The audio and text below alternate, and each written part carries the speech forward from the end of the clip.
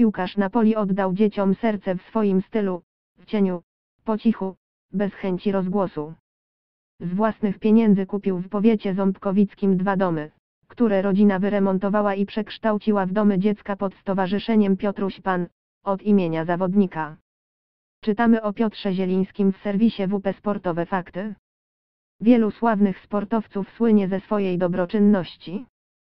O ile jednak część z nich pomaga innym w blasku fleszy, to jednak są tacy, którzy dokonują tego wyjątkowo bezinteresownie, nie szukając w ten sposób rozgłosu.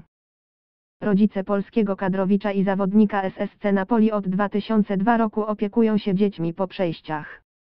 Prowadzili pogotowie rodzinne w Ząbkowicach Śląskich, a niedawno otworzyli dwa domy dziecka.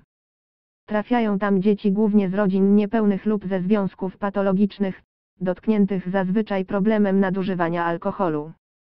Schemat jest często podobny, pijaństwo najbliższych, brak środków na utrzymanie maluchów, kolejna awantura, interwencja policji, która zabiera dzieci rodzicom i przekazuje do ośrodka. Opisuje WP Sportowe Fakty. Nie będzie przesadą jeśli, Piotra Zielińskiego nazwiemy cichym bohaterem. Piłkarz nie tylko z własnej inicjatywy kupił te dwa domy dziecka, ale przy okazji pobytu w kraju odwiedza placówki i spędza czas z podopiecznymi. Piłkarz Napoli oddał dzieciom serce w swoim stylu, w cieniu, po cichu, bez chęci rozgłosu. Stwierdza dziennikarz, który opisał historię rodziny Zielińskich. AK sportowe fakty.wp.pelicz